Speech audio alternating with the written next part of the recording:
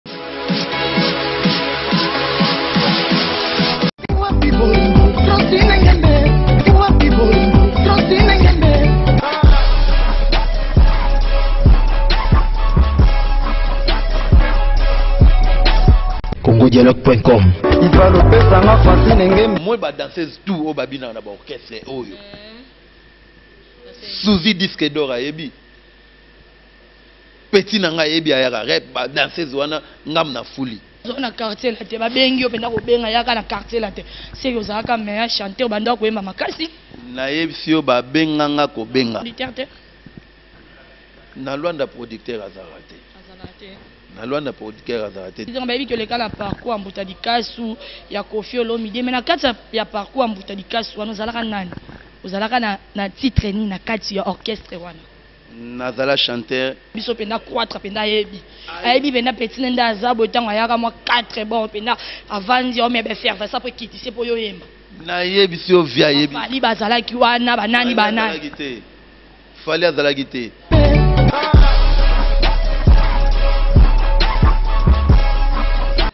bonjour bonjour mama boni santé Très bien Marlène. Nasepeli oko yamba yo vraiment na Congo dialogue to beta na masolo yango hein na yeba yo vraiment bien po c'est la première fois okota na kati ya émission oyo na kati ya plateau na ngai ya Marlène Odia hein oyo pende comme site na ye site na ye oyo alingaka mingi Congo dialogue Africa culture bitelanga na lisolo na yo boni move te mouvement eza très bien très très bien très très bien vraiment donc par la grâce de dieu tozo komarche kaka ndenge esengi tomarche na kati ya mboka oyo lwanda na kati vraiment ya lwanda angola bayebi toleka na parcours ya mbuta likasu ya kofi olomide me na kati ya parcours ya mbuta likasu wana ozalaka nani ozalaka na, na titre nini na kati ya orchestre wana nazala chanteur Preuve nini asala ba biloko mosusu bato bayebi.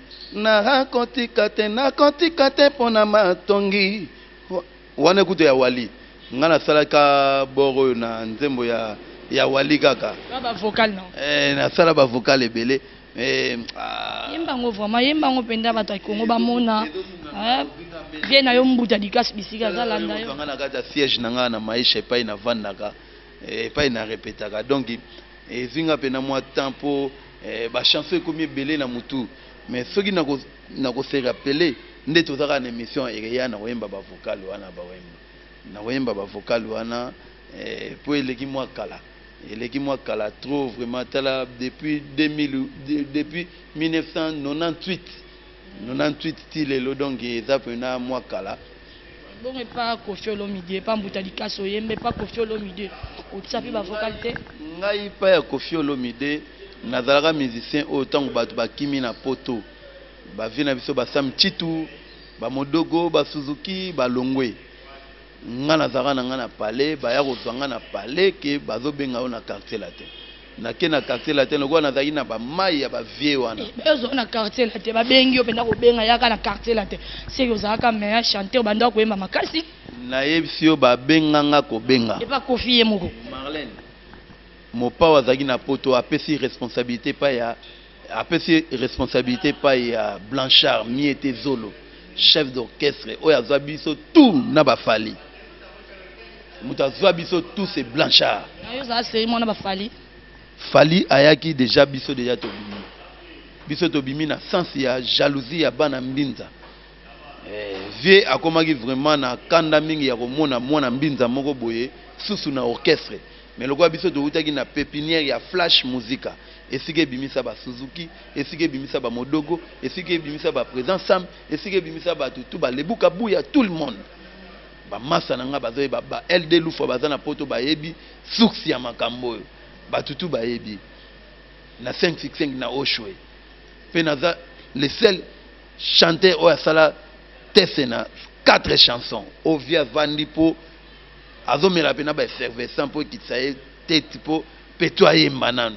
Eh, Mais je vous dis la vérité. Via yebi. mopao mpenza ndenge olanda bongo vedi vie na biso mpenza croître mpenza ayebi ayebi mpenza petit nde aza boye ntango ayaka mwa 4 bon mpenza avandi omea bafervesa mpo ekitise mpo yo oyemba nayebisi yo vie ayebifali bazalaki wana banani banani Fally azalaki te na epoque wana o biso toya wana CNN. Ezalaki makambo ya kina mingi na kati ya Luanda, bana Luanda baolanda mbo na tie mobimba ezolanda bana na posa bayeba ntango owutaka kin na masolo na yo wana mpo nga nde na boso nauti kin nayebi ke na na idole na yango ifo nabimisa yango bato basanti ke wana eza marlene odi ya motu na idole na ye yo mpo ntango owutaki kin na makambo na yo ye vraiment na kati ya Luanda babenga yango fali abenga yango paris Luanda c'est paris bino moko bibengi yango Luanda c'est Paris mais ntango okomi na kati ya Luanda leader intention ezalaki ni raisonnement ezalaki ni otikaki miziki ou bien ocontinuaki ngai ndenge naza boye donc ma vie entière nayebi boulot mosusu te kaka miziki oyo nayembaka yango lelo oyo nazo confirme na kati ya Luanda babenga nga poids lourd seki ape ah, noza président leader nde tobengi werrason aza leader de leader yo mpe oza leader nazoyebisa yo ali jabi oyo ozomona oyo aza moto ya kosakana na ye te ya solo vraiment na kati ya lwanda marlene eh. nazoyebisa yo aza moto ya kosakana na ye te lome moko respectueuse pa bato tu barespectaka mm. omoi mokili oyo mobimba ndenge eza boye ali jabi aza na respect mpe aza na poids soki yo mpe oza na badanseuse na yo bamusicien na yo mpe oyo yo mpe oengagaka deva bango Nayebisi yo, nayebisi yo makambo moko na koyebisa yo te. Makambo oyo na koyebisa yango te po ba pro- Obetela nga lisolo, Nabia- tobeta nabia- lisolo. nabia- Lisolo na kobetela yo. Moi ba danseuses tout oyo babinaka na ba orchestre oyo. Suzy disque d'or ayebi. Petit na ngai ayebi ayaka rep ba danseuses wana ngam na fuli. Mais Suzy ya journaliste, nakomi danseuse. Te ayebi po akontoyaka biso. Ah, po ayaka kotala bino. Atalaka tout l'orchestre.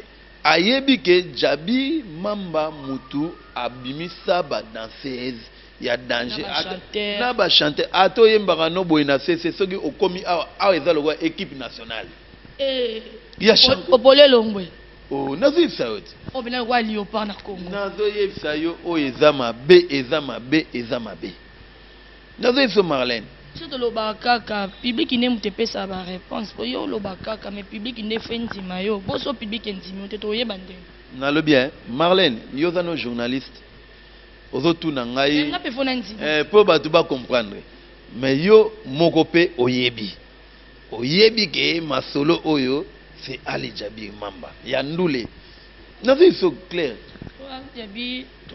tokomi vraiment mpe kokoma na belle ya émission na biso na orchestre na yo deja obimisi combien de chansons album deja ebimi badiske ezotekama ou bien oza nano na préparation oza na studio nakoyeb so boye eh, nabimisaka single eleka mpe na bachaîne bato batango nyonso nde baotala mais ezalaki kala Wana ezalaki nanu groupe d'accompagnement. Depuis naye kosala orchestre, ntango nasali orchestre, orchestre ça coûte donc ezosenga bambongo ebele. Wana producteur te? Na Luanda producteur azalaka te. Azalaka te. Na Luanda producteur azalaka te. Tozalaka na bato oyo bako soutenir yo. Mwa vieux moko boye mais ayebi ne mpe ndule te. Eh, po miziki eza lokola te moto aoteka makayabu kwanga na nzela te. Musique eza pena il faut depenser po bozwa. Kasi oza na wana moto te alibati. Oza na wana nini te. Nalobi eh. Na nayebisi yo, nayebisi yo moto oyo yo zoloba. Ya ah. Nzambe, nga bina nga moto ya Nzambe. Nalobi boye te. nayebi ke mokili ekoma kolinga bato babomaka bato bazwaka bakisi enga alobi toboma bato ozwa bakisi ngai nalobi na ngai kaka nde fo ozala na ba eh, mwa eloko moko boye mwa eloko moko ya ncoto yo kasi susi nde aza nazanga eloko ya ncoto te nalobi boye eh. nalobi boye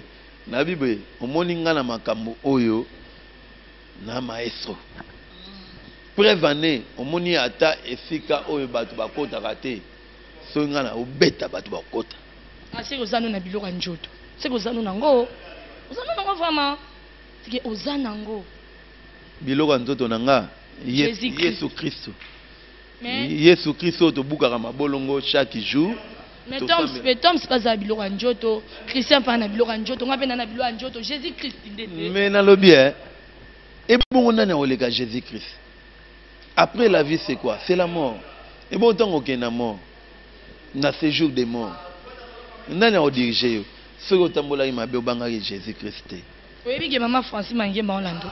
Oyebi ke Orlando penda azo lando penda attentive mama mambo zo loba penda bisika azo lando penda heure avandi bisika malili moi sa pemba bongo. Na lobi hein? Na lobi hein?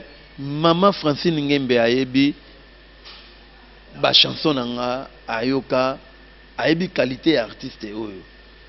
Nazo pese mbote musika kota azali ayebi ba qualité ya artiste oyo. Artiste oyo ayembaka mingi mingi mpo asepesaka bato asepesa bato donc lwanda public asepesa mpalanka nabi palanka kutu kotanga yango nano te lobaka monde entier monde entier mpo na minute oyo baotala biso na monde tous les omoni